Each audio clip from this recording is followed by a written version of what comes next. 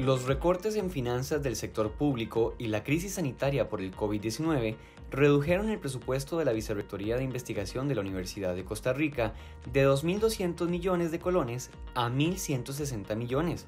A esto se suma que para este año no se proyectaron fondos para la compra de equipo destinado a fines científicos. Me encontré una eh, partida para equipo en cero estaba esperando que entraran los 25 mil millones que nos deben del FES, pero yo creo que eso no va a entrar. Y eh, muy poco dinero en lo que es mantenimiento de equipo. La labor de investigación que se desarrolla en la UCR es la que más aporta al país en dicho campo.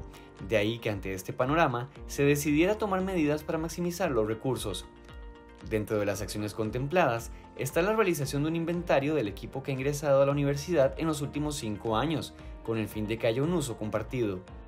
Todo eso va a estar en un inventario donde el investigador va a poder ver, ok, necesito un, PCR de tiempo real, ¿quién tiene? Ok, voy a llamar a fulano de tal para decirle que necesito una cita para que me induzca, para responsablemente usar el equipo y para usar el equipo. De esa manera pretendemos que el poco dinero que tengamos para equipamiento de aquí en adelante se use para comprar equipo de punta y no para repetir equipos que ya tenemos en la universidad. Actualmente, la UCR tiene vigentes 1.661 proyectos de investigación, de los cuales esta vicerrectoría financia el 46%. El 54% restante operan mediante la venta de servicios o con recursos provenientes de fuentes externas. Esta última opción resulta bastante llamativa para captar más fondos. Estamos llamando a personas que han tenido mucha trayectoria en consecución de fondos para lograrlo.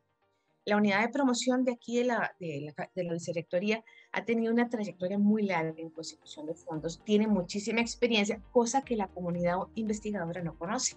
Entonces estamos difundiendo, de hecho ahorita que estamos en el mes de junio, que es el mes de la ciencia, tenemos una serie de seminarios y propuestas para enseñarle a la gente cómo conseguir fondos. La vicerrectora explicó que dos de sus estrategias para los próximos cuatro años serán optimizar el uso de recursos y facilitar la investigación, en el caso de este último aspecto, el énfasis estará en aquellos científicos que apenas inician para tenderles la mano y que sean la generación de relevo.